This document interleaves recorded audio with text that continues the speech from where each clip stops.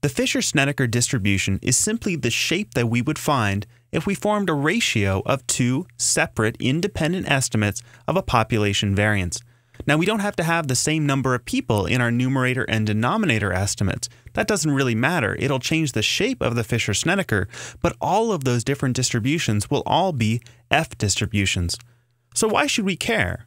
Well, let's remember what we were trying to do we were trying to make an inference about whether a factor mattered in the population. That is, we're trying to determine whether all those treatment offsets are actually equal to zero. Now, in our example, we only had three treatment offsets, one for each of the different airlines, but we can have factors with hundreds or thousands of treatment offsets.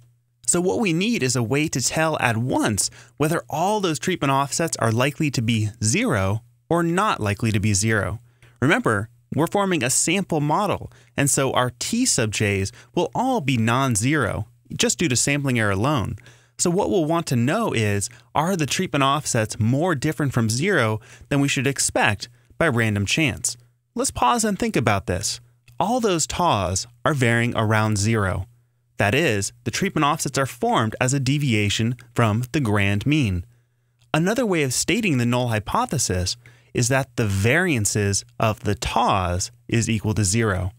Notice that if a variance is equal to zero, it means every observation in the dataset is identical.